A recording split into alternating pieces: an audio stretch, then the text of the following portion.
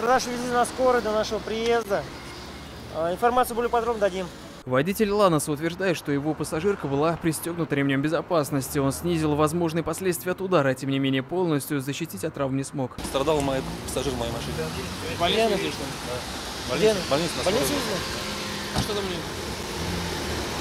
Подозрение на воскресенье. К приезду полицейских оба разбитых автомобиля находились на встречной полосе. Судя по расположению машин, а также характере повреждений, было понятно, что неопытная девушка на «Опеле», вероятно, решила развернуться через двойную сплошную линию. Причем, чтобы хватило радиуса поворота, к опасному маневру она приступила с крайней правой полосы. Как только немецкая иномарка оказалась поперек дороги, в нее влетел Ланос. Мы от удара уходили справа влево, а он полево.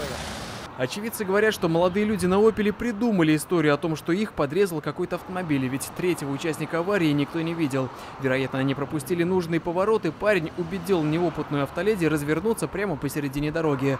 Оба автомобиля теперь нуждаются в капитальном ремонте. Равиль Сайганов, Альберт Доминов, Эфир 24.